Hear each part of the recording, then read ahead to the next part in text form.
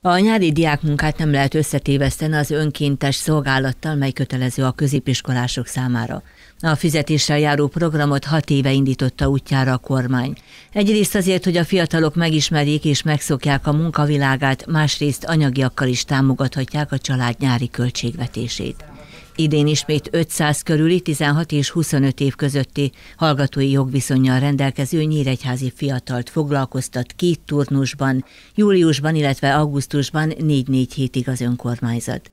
Az intézményi kör változatlan, továbbra is a fő felvevő az óvodáink, a négy óvoda központban több mint 150 gyereket fogadunk, de emellett mintegy 30 gyereket tudunk fogadni turnusonként a polgármesteri hivatalba, és néhány gyerek foglalkoztatására lehetőség van még a múzeumban, a művelődési központban, a könyvtárban, illetve a közim és az alapellátási igazgatóság keretén belül is.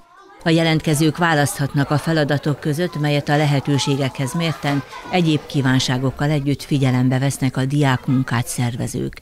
Van, akit a pedagógiai pálya vonz, illetve az egészségügy, mást a jogi terület vagy a közterület felügyelettel járó feladat nem szakképzettséghez kötött, kifejezetten kisegítő jellegű munkát végeznek, de azt hiszem, hogy ez is nagyon hasznos. Két szempontból egyrészt bekerülnek a munka világába, hat órás foglalkoztatásban megtanulják annak a rendszerét, hogy időben kell érkezni, munkaképes állapotban, és délután kettőig ott kell dolgozni, másrészt pedig nagyon hasznos az, hiszen ilyenkor akár a hivatalban, a postázásban, illetve az egyszerű munkákban be tudnak segíteni, vagy például az óvodákban a gyerekeknek a foglalkoztatásában nagyon hasznosak tudnak lenni. Az érdeklődőknek regisztrálni kell Nyíregyházán a Szabadságtéri Munkaügyi Központban, ezután kell jelentkezni a polgármesteri hivatalban. Itt csütörtök kivételével minden nap várják a fiatalokat.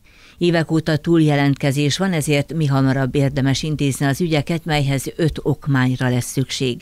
Személyigazolvány, lakcímkártya, adó és TB kártya, illetve a diákigazolvány, ennek hiányában az iskola látogatási igazolás.